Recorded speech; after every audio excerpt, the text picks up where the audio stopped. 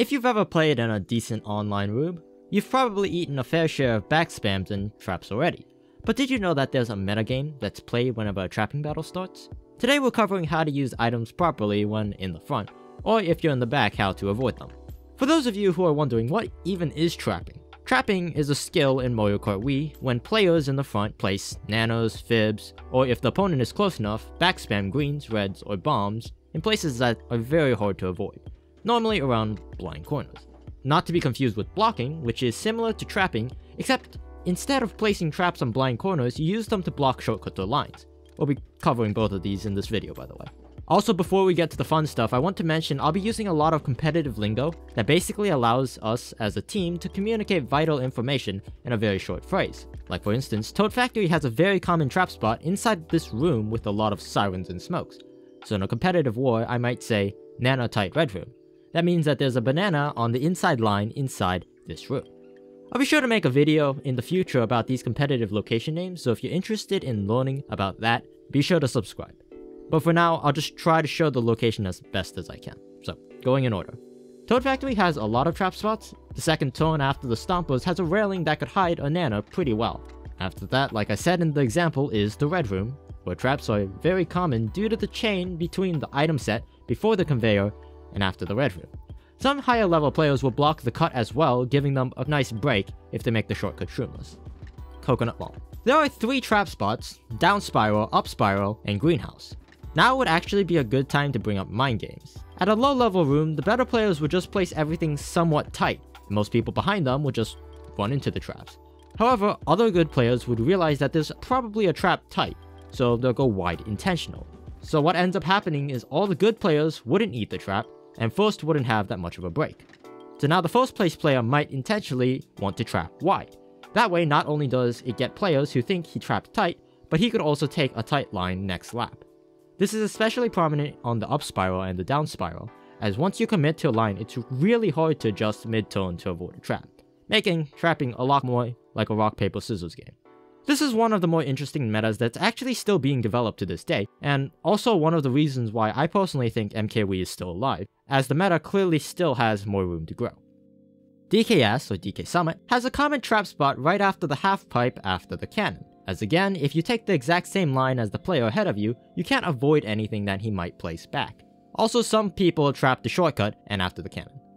Wario's Goldmine has a number of trap spots, but they all include the three downward sections where, after you take a drift and start heading downward, any trap place can be lethal. Remember what I mentioned on Coconut Mall about the mind game of going wide or tight. Generally in Worldwide, you won't have to worry too much about wide traps, but it's still good to be aware of, especially if you know you're playing against someone who's really good at the game. Also, you can block the shortcut entrance on the side whenever the minecarts come up. Koopa Cape's most common trap spot is at the bottom of the waterfall. However, bananas and fibs aren't affected by the water flow, so the big green shell tone sometimes has a few traps hiding behind it. Rumble Volcano, you do something I'm going to call respawn trapping. Basically planting traps right in front of a player who took respawn cut. It's primarily used on this course, but it can be used anywhere. If for instance, Force falls off and you see him respawning, you could trap him so he can't keep up with you passing. Moonview Highway. The horseshoe inside line is the most common trap spot, as you'll be sandwiched between the oncoming traffic, giving you not a whole lot of room for error, add a trap on top of that and you've got a really deadly line to follow. So in some cases you might have to take the center line instead. Bowser's Castle has one very prominent block spot that stands out compared to the rest, and that's the block for the half pipe or the glitch. Now I want to mention not many people online even go for the half pipe, so I want to bring up another concept which is when to hold items and when to throw.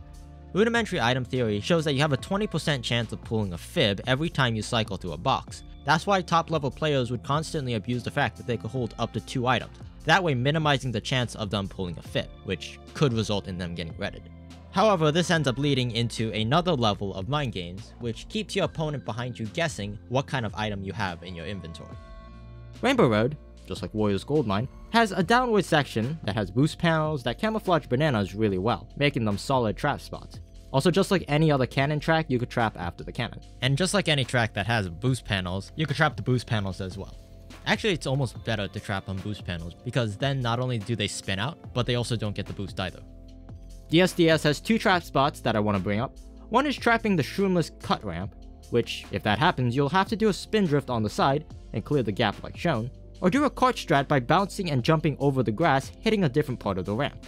And the second trap spot being after the mud cut, sometimes spinning players out and straight into the water. Wait a second, you're missing two other very common trap spots on DSDS. And yes, I know.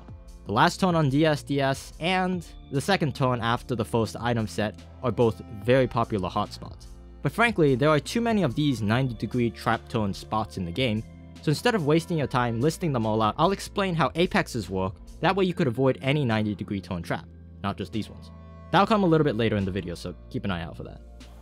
I'm sure if you've played online even once on Waluigi Stadium, you've had the very first boost ramp trapped on the left side of the corner. However, another good place to use your trap is to trap at the bottom of the trick cancel ramp. Also, the last two turns are quite evil, adding a trap on top of that, and you could really mess up someone's line. BC3, basically every right turn is a nana death trap.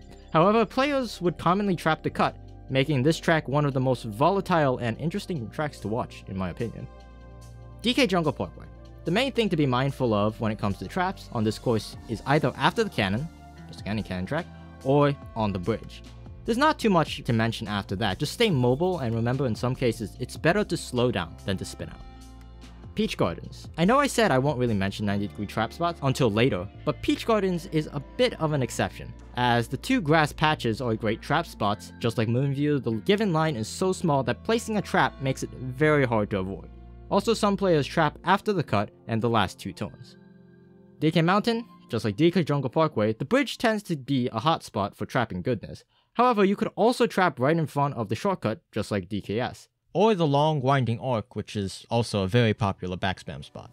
Side note, if there's a green or banana on the bridge, you could actually jump clean over it. Granted, most of the time you shouldn't risk it, but in certain situations, it's great to know that the option is there.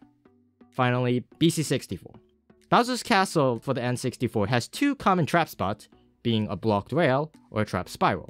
Just like BC3, BC64 has a lot of right angles, and every right turn is a potential trap spot. So now let's talk about apexes. In this example on BC64, after the moving thwomp, a lot of people like to back stuff, so they end up taking a line somewhat similar to this, depending on where the thwomp was. Now some players after him might take an inside line, or an early apex. The problem with an early apex line on BC64 is you hard drift to the left, but you still end up on the outside lane. Compare that to a traditional apex. Taking a traditional line, you get a lot more options because you could start the drift much earlier or later, depending on what you want to do. Most players tend to take this line because the thwomp can be a bit of a pain to deal with, but just because you have more options with a traditional line doesn't mean you won't hit anything, as once you commit to an angle you probably won't be able to adjust mid-flight. Which brings us to the last apex, the late apex. When you do a late apex, you end up with a much tighter line giving you the most options for entering a turn. However, the downside is late apexes tend to be slower, due to the way that Mario Kart Wii speed management is. If you're trying to avoid traps, you should be taking late apexes. If you're in the front, you should be taking traditional, or in some cases you can't help it, early apexes. So now that you have the option to avoid any line you want by taking late apexes, take what we've learned in Coconut Mall about trapping mind games, or if you're close enough to see the player ahead, watch and try to avoid his line. Finally, I want to bring up a few topics I couldn't put anywhere else, First being that you should always keep in mind the item location and player inventory. So for example, if you drop the back spam on Coconut Mall, and you watch the minimap and you see that no one hits it, you should remember that it's there waiting for you on lap 2. And for the player inventory, keep in mind which item the player ahead of you has. That way, if you want to throw a red shell, you could kind of tell what item he's going to get and give yourself a higher chance of it connecting. Last topic I want to cover is online backspams. Due to the culture of MKWii, as everything is done online, you shouldn't trail people when they have an item, obviously. As by the time you see the item getting used, most of the time it's too late to avoid, making some very obvious backspam spots deadly. All in all, just keep your eyes on the road and try to stay sharp. You never know what might be waiting for you on the other side. Hi, Arc speaking, and thanks for watching this video. Originally, I was planning to make this video only about 5 minutes long, talking about basic concepts of trapping, but it eventually became almost like a montage and compilation. It turned out to be a bigger project than I anticipated. Anyway, if you liked the video, be sure to let me know by liking and commenting. And if you want to support me in continuing to do what I'm already doing, why don't you subscribe and check me out over on Twitch. That's all from me. Thanks for watching, and happy racing.